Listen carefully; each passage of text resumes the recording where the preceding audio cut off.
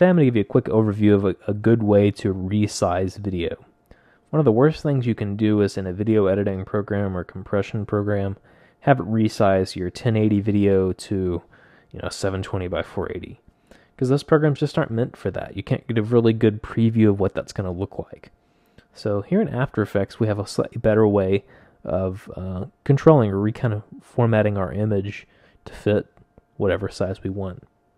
So if we look here, I have a quick little timeline. It's about 38 seconds.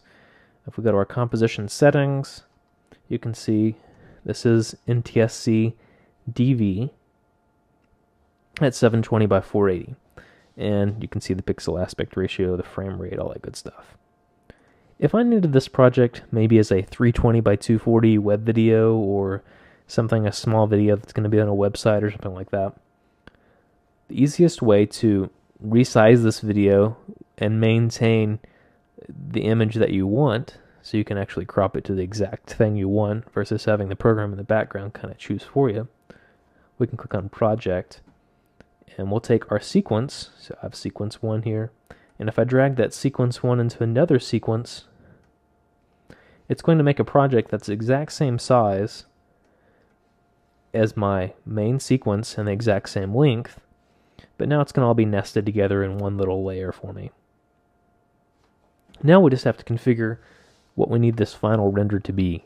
So if we go to composition settings, we can choose whatever we want. So if we wanted this to be maybe a uh, web video, we could choose that 320 by 240. Uh, most computer stuff is going to be square pixel. Uh, if you wanted a higher frame rate than that, you could maybe put it at 24. You know, but it doesn't really matter whichever frame rate you'd want to use. And then we'll get it OK. And you'll see what happens is it's cropped the image. So if I clicked on this layer, kind of zoom out a little bit, you'll see I have a bounding box. And that's kind of how big this video really is. And then my viewer is showing me exactly what um, is going to be kept in the image. So from here, I could go to scale, which keyboard shortcut is S. I could scale this down and kind of choose exactly what I want. Going from video or uh, you know widescreen HD or something to a web video, you're going to see the formats are a little different. So I'm going to have some stuff cropped off. But going this way through it, I could actually move this over to the left or move this over to the right just a little bit if there's a particular point of the image that I wanted to uh, keep or preserve, and I can choose which part of the image is the most important in my project.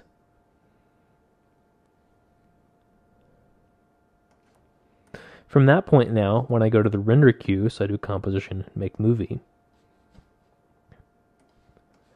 and I click on best settings, you'll see that my size is actually 320 by 240 and if I clicked on lossless as well, I don't have to use this resize or crop or anything at all. My video is already set to the proper aspect ratio and the proper size that I need.